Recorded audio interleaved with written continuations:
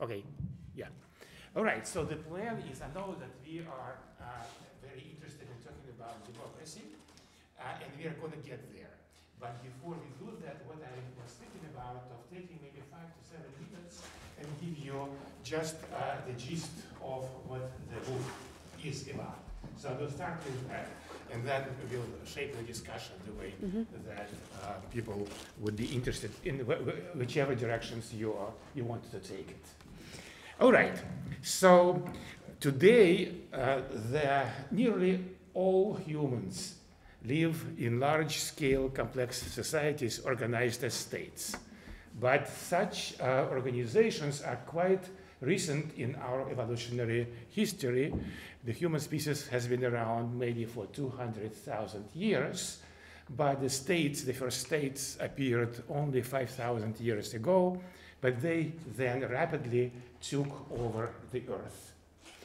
Now, as, as, as uh, my team and colleagues have studied uh, using quantitative methods the uh, historical dynamics of, uh, of past states, you find a very interesting pattern. So, for some time, maybe 100 years, sometimes longer, sometimes shorter, states actually can go with um, reasonable functioning keeping the internal peace and order and uh, generating reasonable well-being for their constituents. However, inevitably, at least in the past, uh, end times come. That's what the book is about. And these end times are disintegrative periods during which states are very liable to fragmentation, to uh, outbreaks of political violence, uh, bloody revolutions, civil wars, and things like that. So think about, as an example, like the Russian Revolution that ended the Romanov dynasty and led to the bloody civil war or French Revolution, and uh, or the American Civil War. so the big question that I'm trying to answer is why? Why do these end times come? And overall, by the way, overall there is a rhythm. There is not, it's not cycle, because it's not precise mathematical cycle, but there is a rhythm to this um, dynamics. So we have roughly a century or so of integrative dynamics and then roughly a century or so of disintegrative dynamics. Overall, two, three hundred years. So today we uh, live in such uh, turbulent times the previous such wave of instability was, the, was known to historians as the Age of Revolutions, which peaked in uh, Europe during the revolutions of 1848 that spread across the whole um, uh, Europe. But at the same time, we had uh, the Civil War in the United States, 1860 to 65, and the bloodiest uh, war in uh, civil war in human history, the Taiping Rebellion in China, 1850 through 1864. So you can see it was a global, um, um, uh, global uh, spread. And before that, there was the crisis of the 17th century, so on. So you see these recurrent um, uh, cycles. All right, why? One thing that we notice that the common feature uh, in the pre-crisis periods is what we call elite overproduction. Simply put, it's when there are too many elite wannabes who strive for a fixed number of positions in power. So in my book, I use the game of musical chairs to illustrate this dynamics. Imagine that instead of the usual game where you start with 10 chairs and 11 players, so instead of removing chairs, right, as players are eliminated, you don't eliminate players, you don't remove chairs, but you keep adding players. You start with 11 players, then 15, 20, 30, 40 players for the same 10 chairs. You can imagine how much of a uh, chaos and conflict this would uh, generate. It would also immediately uh, induce some people to start breaking rules. So, for example, I would, instead of walking around, I would stop a chair, and then as soon as the music stops, I sit it, it. And then other people figure it out. Each chair, you gather a crowd of people pushing and shoving, and eventually this could lead to uh, a fist fight. So don't play this game at your next children's party. Um, so, um, so this is uh, the basic uh, idea here is that some competition for power positions is good because it eliminates, you know, the uh, uh, foolish and uh, unlearned and so on and so forth. But uh, too much competition is corrosive. It corrodes the social cooperation. It also results in uh, breaking of social norms, and that can lead uh, eventually in real life societies. It usually leads to civil wars. So, um, because uh, the specific mechanism is, is that the, as the number of elite aspirants, right, elite wannabes increase, the number of losers becomes, uh, blows out even, uh, even faster. So initially there was just one loser, right? Then now, if you have 40 players, there's 30 losers. There's 30 times as many losers. And some of them refuse to accept it and uh, start breaking rules. These are what we call counter elites. These are the people who organize uh, radical movements, uh, revolutionary movements. So Vladimir Lenin and Bolsheviks, uh, Castro and Los Barbudos, you know. So you think about uh, people of uh, this kind. All right. So um, the next question that we want to ask is why does elite overproduction develop? All right because uh, as I was saying, during the integrative periods, during the good periods, we don't have that problem and then it develops. Well, um, this is uh, another interesting observation that when societies uh, work uh, well for a uh, period uh, of time, two, three, four generations, then um, the um, rulers of those societies. Actually, let me step back. First of all, who are the elites? Right? Uh, I've been saying that, but I use elites uh, in the uh, neutral sociological sense. These are simply the small proportion of the population that concentrates social power in their hands. Social power is ability to influence behavior of others. And social power comes in four basic flavors. It's military coercive, it's economic, it's administrative or political, and the softest but very important source of power is persuasion or ideological power. All right, so um, the big question is that, uh, uh, that we, need to ask about elites are what are the dynamics? How are elites uh, produced and reproduced? Right, and this is where we actually get to this um, uh, cracks of the matter is that what are the forces that create too many uh, elite aspirants.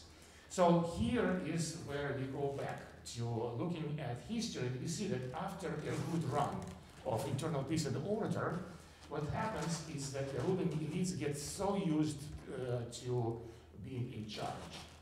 And uh, they become tempted to start rejiggering the economy and the society in their own favor. It's actually known as the iron law of oligarchy, right? It is very tempting for people in power to convert uh, that power into wealth at the expense of others. And that's what uh, happens over and over again um, in uh, history and unfortunately in our own uh, societies. So, so when that happens, typically um, the elites turn what I call the wealth pump. So critical concept here is the wealth pump. What is the wealth pump? Well, um, uh, the wealth pump works differently in different societies. Uh, it's essentially rejiggering the economy in such a way that the majority of the population, the preferably 99%, actually lose ground and have declining um, uh, living standards or uh, stagnating or declining living standards. And, um, and instead, uh, the riches go to the elites. So in, let's say, feudal times, the lords, the landowners uh, would just squeeze the peasants, increase their rents, and then, um, and then um, use that for, for their own enrichment. In um, more modern societies, this is done more subtly by, uh, by uh, playing with the forces, economic forces of labor supply and demand for it, and essentially depressing the price of labor, which is what the wages are. So in the United States, for example, we see this in the late 1970s. This is uh, what uh, uh, happens is that prior to that, we see that um, the economy, the GDP per capita, or which is also very similar uh, we, uh, look as productivity of workers, right? Of American workers has been growing, all right, until the late 1970s, and it keeps growing. But wages kept uh, the same increase until late 1970s, and they stagnated and even declined. So for many of the especially disadvantaged segments of the population, like um, unskilled labor, for example, and some others, uh, we see um, that they have lost ground. All right, they have their real wages are now less than they were uh, 40 years ago. All right, now what happens is that we now uh, all that extra wealth had to go somewhere, right? So it, uh, this is what the wealth pump does. It pumps the wealth from the workers to their owners and managers of, uh, of businesses. And, and so what we see uh, as a result of that is that over the 40 year period of time, the numbers of uber wealthy, so that's, that's specifically decabillionaires, but that's also the same at a billionaire level and. But people, households that have $10 million or more in wealth, their numbers have exploded by a factor of 10. Uh, 10 times as many decabillionaires today as there were in, let's say, 1980. All right? Right, so now you would say, okay, that's what's so bad about it? American dream, you know, people getting rich. Well, there are three problems. And these are, each, each of these three problems is the driver of instability. The first problem is that uh, speculation and uh, decline in living standards of the majority of the population that breeds a lot of discontent. And we can see that uh, in many measures in terms of um, biological measures, like the life expectancy in the United States started to decline. Uh, overall life expectancy started to decline even two or three years before COVID, right? Um, but uh, the other very, um, you know, st strong result was the rise of the deaths of despair. So these are the deaths as a result of suicide or alcohol abuse, uh, drug uh, abuse, uh, and also more likelihood of getting into accidents and things that. People just don't care about their life. And sometimes they take it directly, sometimes they take it by drinking themselves to death.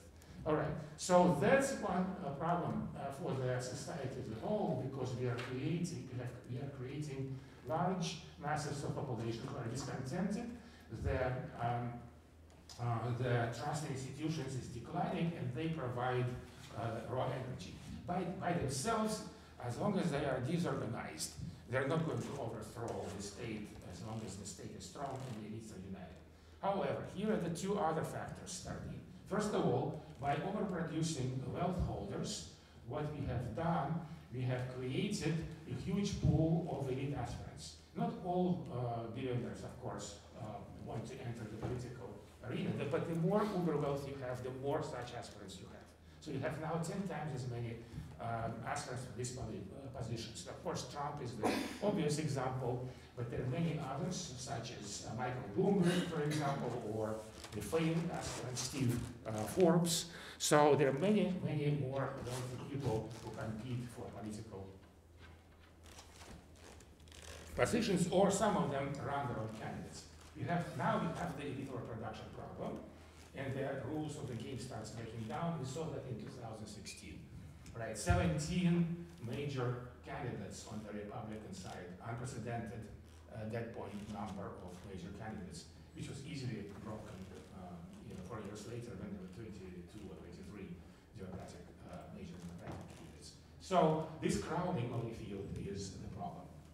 Okay, and the third one is even more subtle now that we have this um, uh, uh, uh, immiseration developing, and many people are becoming precariat. I don't know if you're familiar with this term. They're living very precariously, so that they, uh, any kind of medical emergency, for example, would break them. Uh, and they often don't have enough. You know, this is um, mostly, I'm, talking about the United States, but many of the states we'll talk about later are happening in Europe, although with a time lag. So I was just uh, flabbergasted to read last week in the newspaper, the newspapers that 10% of the poorest, 10% of many European countries' populations cannot afford to buy food because food inflation was much, much more severe than oral right, so that creates the push factor for many of the uh, better uh, educated, not edu- uh, more um, uh, smarter, uh, better organized, um, more ambitious people to get out.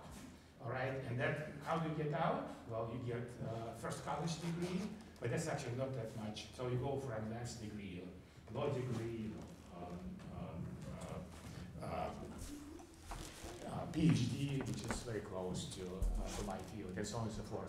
Law degrees are particularly uh, dangerous because a disproportionate number of revolutionaries were trained as lawyers. Between Lenin, Castro, um, um, uh, Robespierre, um, uh, Lincoln, by the way, um, Gandhi, and so on and so forth. Uh, so, um, uh, in the United States, we overproduce law degrees by a factor of three to one. Three times as many law, de- law degree graduates as uh, the positions for them. And with AI, there's an estimate that about half of the lawyer jobs are going to be automated. So very soon it will be six to one. You can imagine this is the game of, uh, of elite uh, chairs, you know, in you know, uh, in, in, in a very high intensity. All right. So these three uh, factors: um, immiseration, overproduction of wealth holders, and overproduction of youth with advanced degrees are the drivers of instability, which we see historically during the revolutions of 1848.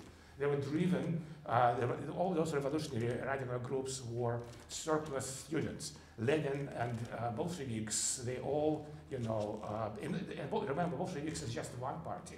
There were, uh, you know, it's 10 different parties, all radicals and all fed by, um, by degree holders. All right, the final thing uh, I want to say is that, all right, uh, what's next? Here is where our science of history is very important because what I've been talking about is a result of uh, serious scientific work where we gather tons of data, we run, we actually turn, we translate our uh, verbal hypothesis into computational models, and we run models uh, forward. So the way uh, to deal with uh, such complex issues is uh, to adopt a more engineering approach because human societies are complex systems with many interacting parts. And if you try to do uh, some uh, interventions without uh, really tracing all the different ways that it can come around and bite you, right? This is unintended consequence, consequences. This, is where we need uh, this uh, type of science. We are currently uh, uh, finishing uh, gathering a crisis DB, which has about 200 uh, past societies over the past 5,000 years that go into crisis and then emerge from it. Because we are, we, we not only want to know why societies get into crisis, right, but also how do we get out of it. And what we found is that the road to crisis is quite channelized.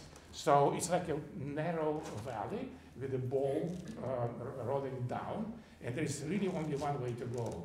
But once you get to the crisis, it's a cost. You can go in many different directions.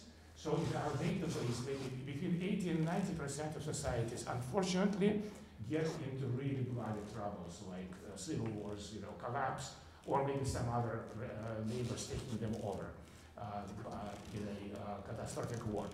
Uh, but the, uh, the good news that uh, 10-15% of societies actually managed to, they got into these revolutionary situations, but there was never a revolution because the elites pulled together, uh, co- collaborated with the population. So in the book I talk about several examples. One of them is that um, the first 30 years of uh, uh, 20th century United States, this is the progressive era and the New Deal. It takes time, unfortunately, to solve these problems. Another one is the UK, uh, the Chartist uh, period. So UK was uh, the only major European state that avoided revolutions of 1848. They managed to resolve it by the right uh, reforms. They shut down the wealth pump, essentially. so there are several examples of this kind. And so we can learn from them. But um, final thought I will leave with you with is that this is science, and so science that doesn't never pretends that you know everything. right? And our science is not as well developed. It's still new.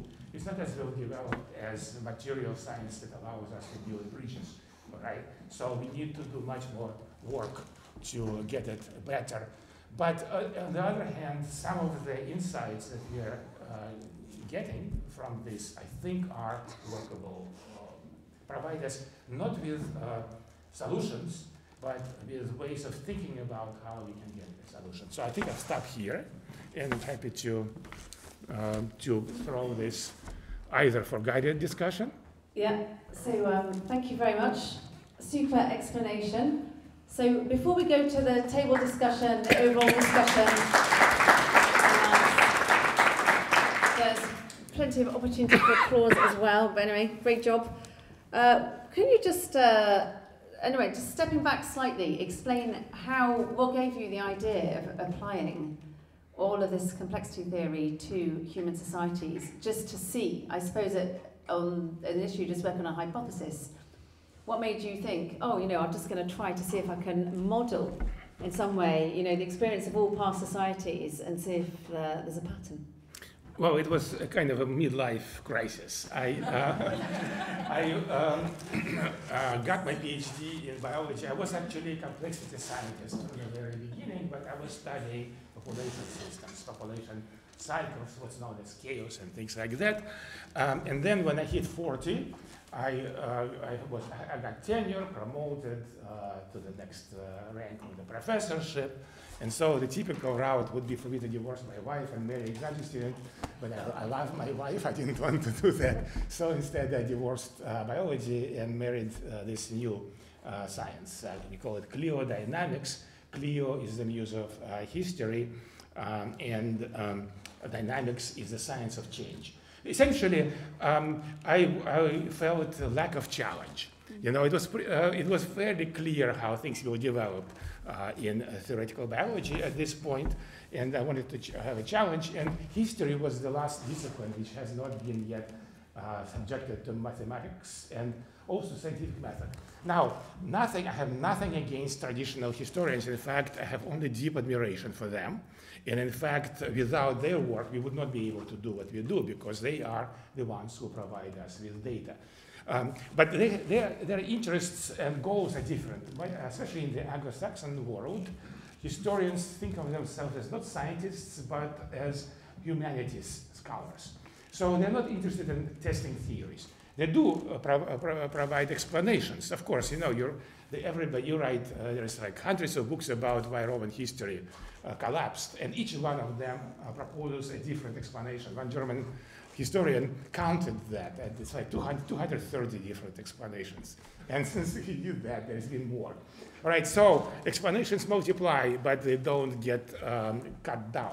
In science, uh, uh, rejecting bad hypothesis in, in favor of good hypothesis is the critical part. That's why we don't have the theory of phlogiston right? Because it's a rejected theory, it didn't work.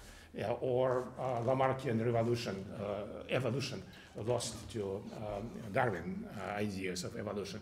And so the idea is that, but we need to know what, why previous societies uh, collapsed, all right? And also we need to know why, how they managed to get out of it. And that means that we have to, uh, to find the right explanations, and that means testing theory. So that's essentially how I got around it. And initially, I didn't want to go into contemporary societies because I knew that uh, this would be a stepping in a political minefield. So I wanted to, to study, you know, Rome and Egypt and China. Um, but every time I give a talk, uh, gave a talk then 20 years ago, uh, I was uh, asked, okay, where are we? You know, and, and so finally I decided to, to study it. And to, truthfully, when I did this in about 2008 or so, I was shocked because all the, uh, all the um, signs, all the um, uh, leading indicators uh, of crisis in previous societies were pointing in the same direction, which is why mm. I, I uh, published this forecast in 2010.